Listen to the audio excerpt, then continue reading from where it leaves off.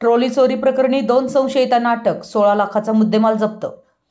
Trolley चोरी प्रकरणी अवघ्या छत्तीस तासाच्या आत शिरो पोलीस गुन्हे शोध पथकानं दोन आरोपींच्या मुसक्यावळून सोळा लाख रुपयांचा मुद्देमाल हस्तगत करण्यात यश मिळवलंय.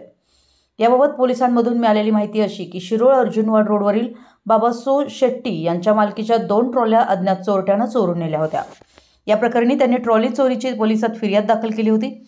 शिरोच्या गुन्हे शोध पथकानं सीसीटीव्ही फुटेजच्या आधारे गणेश धनाजी माळी वय चोवीस व सोमनाथ गजानन माळी दोघेही राहणार कडेगाव जिल्हा सांगली. यांना अटक करून त्यांच्याकडून सोळा लाख किमतीचा मुद्देमाल जप्त करण्यात आला आहे. संशयित आरोपींकडून अन्य गुन्हे उघडकीस येण्याची शक्यता पोलिसांनी वर्तवली आहे. त्या दृष्टीनं पोलीस तपास करीत आहेत.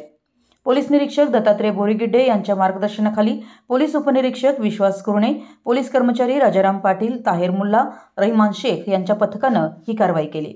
अधिक तपास पोलीस करीत आहेत. कोथळी टाइम्स न्यूज चॅनलला सबस्क्राईब करा लाईक करा बेल आयकॉनला क्लिक करा. ताज्या घडामोडीसाठी आमचा नंबर आपल्या ग्रुपमध्ये ॲड करा.